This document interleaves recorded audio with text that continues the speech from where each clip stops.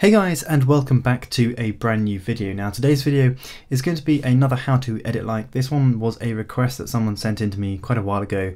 Um, I'm sorry it's taken me this long to get around to making this particular video but um, it's kind of an interesting um, Instagram page. Uh, so if you guys do know this account um, you'll notice that all of his photos are very blue um, has got a fade in his photos. Now, I think I've done a little bit of research and uh, looked into his photos, but I think all these photos he's taken, he's taken them on his mobile phone or his phone camera, um, which is quite interesting. He's been able to, been able to achieve this look, um, really unique look. I haven't seen it pretty much anywhere else.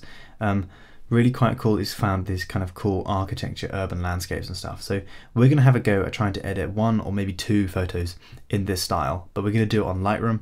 Um, obviously I might do a video at some point on how to edit it um, on a mobile phone but you can see for this one for example it's not the highest quality so I think it's a mobile phone. And then he's put um, this Huawei thing on it. So I think I can't speak the language but I presume that he's taken this on uh, on a mobile phone. So, but I'm not sure. I might, I might be wrong. Okay, so this is the photo we're going to be editing today. Um, slightly strange one, pretty cool photo. Um, before I start, I would like to point out that if you do have any raw files or anything that you want us to edit, like um, in someone's particular style, if you've got an Instagram account you want us to edit like, and you've got a photo that you wanted to look like that, then um, send us the email saying uh, you want this to be edited um, and send us the raw file because I am running out of raw files. Um, so if anyone's got a raw file, please uh, feel free to send them in to us and we will feature them in some of our videos. And then you can go ahead and post it to your Instagram account. I'll send you the file back. Um, but anyway, so what we're going to do is we're going to start off with this photo here. Um, not the conventional photo that he would post to his account, but the reason why I've chosen it is because it's kind of this cool um, building kind of urban kind of environment with blues and stuff. So I think if he did post it, it would work with his theme. Um, but again, you can probably use pretty much anything you've taken, um, especially these building ones. Really quite cool looking photos with the um, the harsh shadows and the clarity and stuff. Okay, so the first thing I would like to point out is how um, he gets this look to his photos. So the first thing is what he's done is he's really brought down his temperature. Um, so he's brought his temperature all the way down, so he's got um, a bluer kind of tint to all his photos. That's the first thing he's probably gone ahead and done. Um, the next thing is you'll probably notice he's got um, quite a bit of clarity and quite a bit of sharpness um, in his images. Um, a little bit of grain, but I'm not sure whether the grain's just because the quality of his images isn't that great. But if we look at this one, for example, a lot of clarity, a lot of contrast, a lot, lot of sharpness going on, pretty bright highlights, dark shadows. He puts a little bit of fade in, in the shadows. You can see that a little bit. Um, and everything seems to be pretty desaturated. So um, that's what we're going to do. We're going to go ahead and try and replicate that look um, in our photos. Okay, so this is our photo here. Uh, the first thing we're going to do is we're going to increase the exposure because all of this photo seems to be pretty bright and high contrast. So first thing we're going to do is just bring up that exposure just a bit, probably to about plus 0.5. And we're going to bring down our temperature. We're going to bring this down quite a bit, so it's um, probably about minus 12 um, just a, maybe a bit more to about minus 16 so it's a pretty blue photo. Um, obviously the temperature is just going to depend on your photo that you've taken. Um, we're going to bring ours down a little bit. Then on the contrast we're going to bring it up uh, not that much probably to about plus 15 then the highlights um, bring those up a little bit to about plus 10 plus 5 as well. Um, come into his thing. He probably fades out his highlights. Uh, it looks so look at this one for example. It's got quite harsh highlights here. Maybe not. He may not fade them out. It's pretty difficult to tell because I think he's done them on a mobile phone as I said, so I'm not really sure. What I am going to do is bring up the shadows. Um, even though he's got a lot of contrast in his images, he has still got quite a bit of detail in those shadows. You can see under here, you can see still what's going on quite a bit. So we're going to bring up our shadows about plus 70.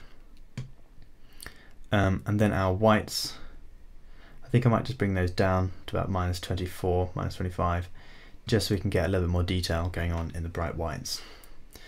Might bring up that exposure just a bit more to about plus 7. Then on the blacks, I'm going to bring those down to about minus 35 just so we can get those really dark, sharp blacks. Then what we are going to do is we are going to increase the clarity, uh, probably to about plus 13, um, maybe plus 25, something like that, um, just to get a little bit more detail going on in the image. Bring up those blacks a little bit more now.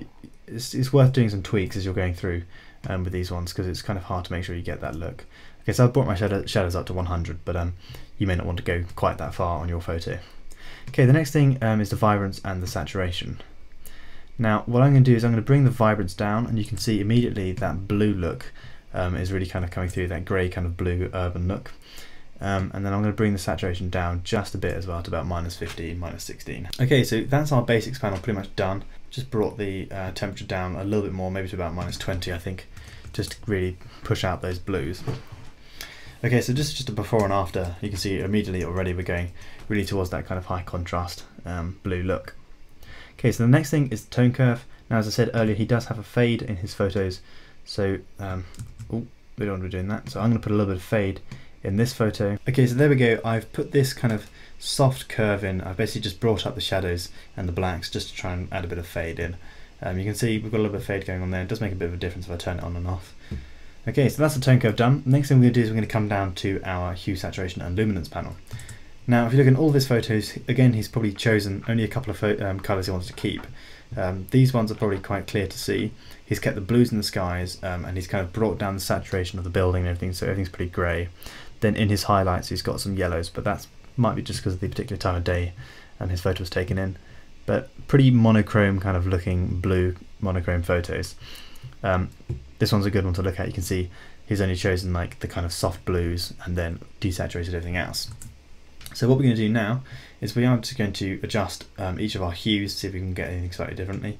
Um, in terms of our blues, I'm just going to bring those um, the aquas up a little bit um, and the blues down.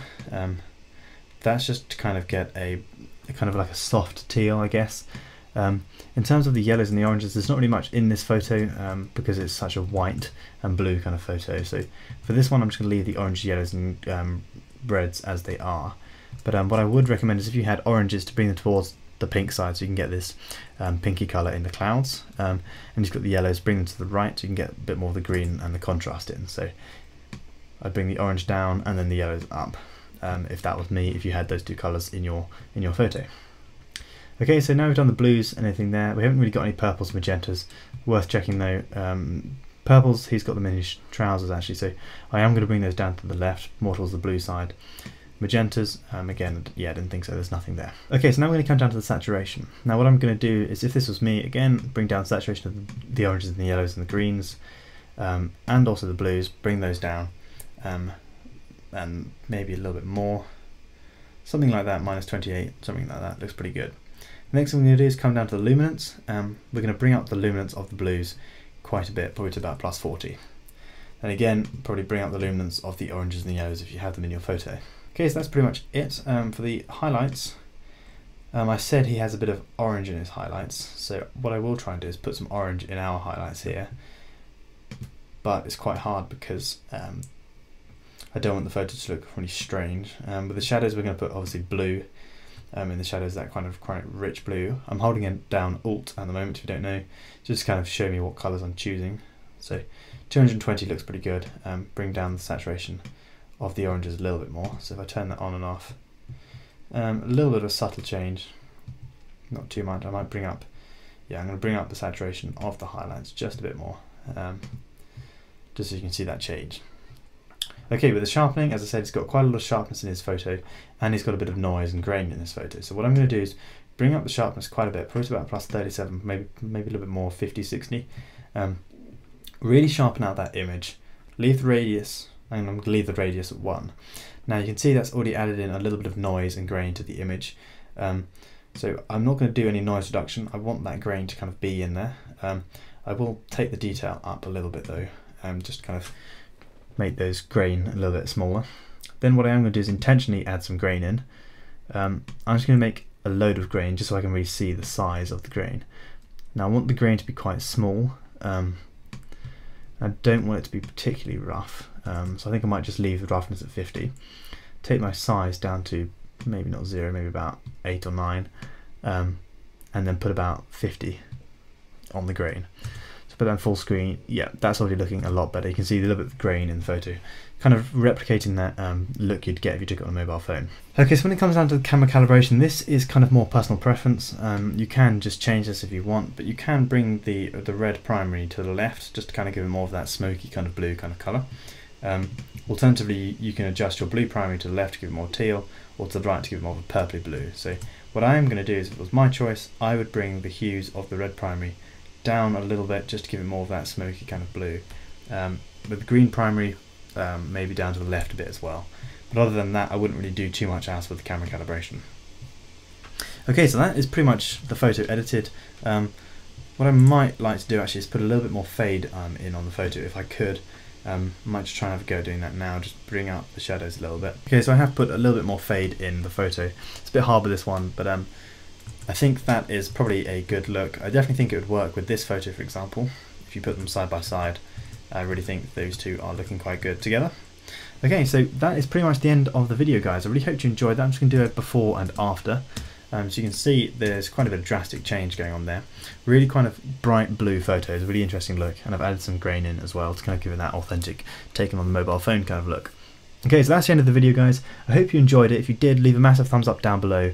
Um, and of course, don't forget to go ahead and subscribe so you can check out some of our videos that are coming out later on in this month.